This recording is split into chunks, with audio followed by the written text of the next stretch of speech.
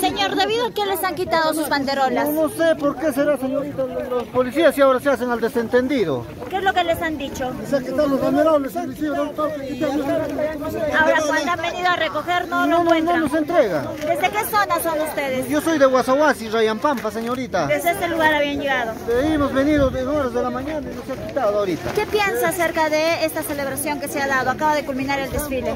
Está un poco mal, señorita. Nos venimos a desfilar y nos quitan nuestra banderola, todo, sin hacer político ni nada.